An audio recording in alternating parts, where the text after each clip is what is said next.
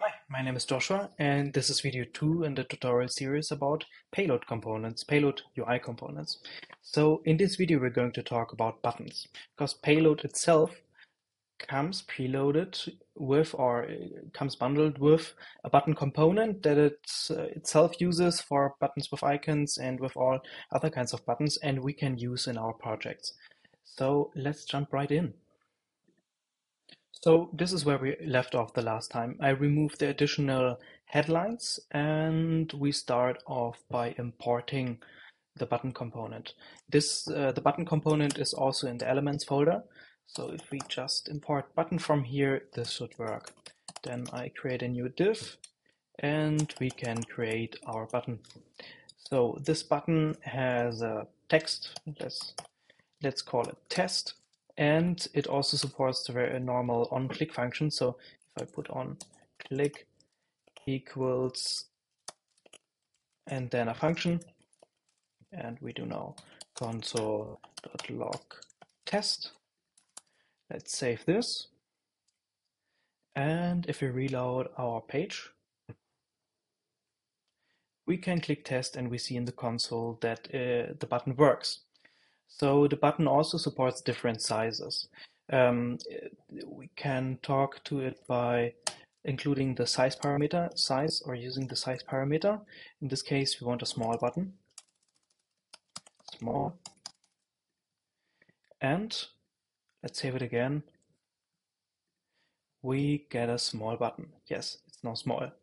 And the button also works if we want to link to other web pages. And it, it does not only have on click, it also links, for example, um, let's you uh, it links, for example, to Google if we wanted to. We can set a base element and this it uses to render the button. So in this case, we want an anchor link to another web page, anchor. So we have to set el to anchor and then we can use the URL parameter. And in this case, let's set it to HTTP, HTTPS uh, slash slash www.google.com. Its name is Google. And we can also have it open in a new tab. New tab equals true. So let's save this and try it out have to reload the page. And yes, now can't be reached. Oh, I typed www, but no problem. Uh, you see it works, it links to a different page. And there is a third way we can use it, which is very important. If we want to link within our app, then we don't use the anchor tag, we want to use the link tag. Link, uh, new tab in this case, we don't need. We also don't need URL but let's try uh, to. And to, we have to link to admin or, or some other uh, some other collection we have, like collection. And we created a users collection. Let's link to users. So we can name this users, and it now links to users. So let's see. Reload it, and Ah, I think I I named it falsch, uh, wrong. Let's see, collection users, users, collections, it's uh, plural. So let's try that again. Let's go to the dashboard, users, collections. Oh, it's not reloaded. Okay, let's go to the dashboard again, users, and we're here. So this button works. Uh, the next step is that we can set different styles on this button. So in that case, this is a um, primary button, but we also have the button style secondary. So what this means, you're going to see in a moment. Button style, yes, for accessing the styles, we have to set button style. Button style equals secondary and we also have a, uh, another button style. I'm just going to copy this so you can see it. We have a, the next button style is transparent. Transparent. So, and if we want to showcase that now, we have to reload the page and you see this is now how a secondary button looks and a transparent button simply has no background. Okay, that's it for the normal buttons. Um, let's come to the icon buttons. Okay, I removed all the parameters we don't need for the icon button, but it works uh, pretty much the same way. We set the button component, we have an on-click or a to or uh, an URL parameter we can set, but if we wanted to show it an icon, we have to set it.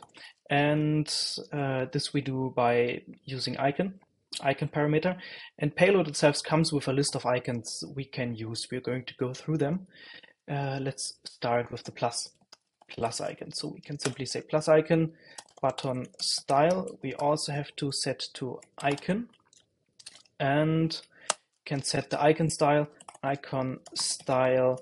Let's do this one without or with, with uh, border. So if we now look at the button buttons, we have this users button and a plus button. So if we go here, uh, it prints out tests. But yes, you can see we have this plus button and we have more buttons, more icons. So let's just copy this and we also have the option to do it without border, without border. And we can also set an X icon. We can set an uh, chevron icon an edit icon and a swap swap icon and a link icon link icon. I think that's them. So let's see.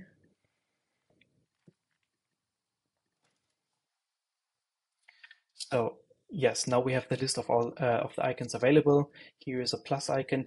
Um, the X icon in that case without border, a chevron icon, an edit icon, a swap icon, and the link icon. And yes, that's pretty much it. We can also remove the text so we only have the icon. So if I remove the text from these two, we are then left with, yes, simply the icons itself. And if you can see, we click on them, we have this test. So you don't have to actually import any library or something. You can just use the icons and the buttons that are already part of Payload. So that's it for today. Uh, see you the next time.